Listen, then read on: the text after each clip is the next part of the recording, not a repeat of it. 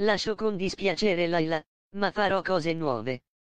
Gaia Girace, la giovane attrice che dà il volto a Laila nell'amica geniale annuncia con dispiacere che lascerà il suo oramai iconico personaggio dopo i primi tre episodi della prossima stagione della serie tv dei record.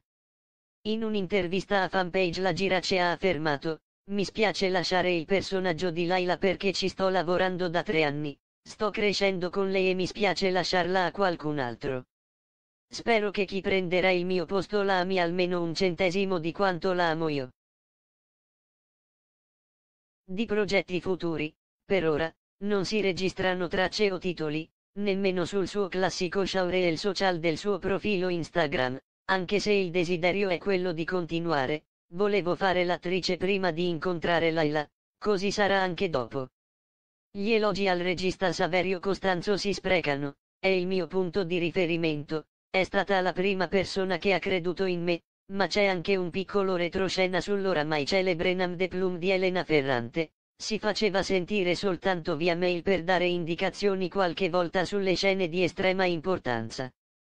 Quando arriva a noi qualcosa di lei, siamo tutti più felici.